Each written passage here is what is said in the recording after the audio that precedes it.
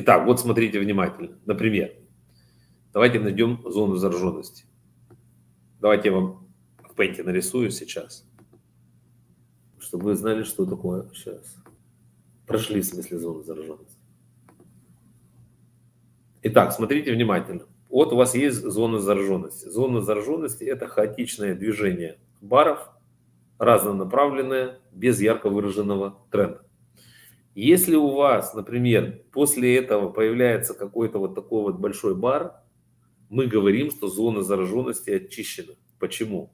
Потому что этот большой бар разбивает все лимитные заявки, которые стоят здесь. То есть, если после какого-то там тяжелого движения вот такого мы получили большой паранормальный бар или просто любой бар, который перекрыл зону зараженности, значит мы говорим, что зона зараженности была очищена. Видите, даже такой маленький э, ликбез получили.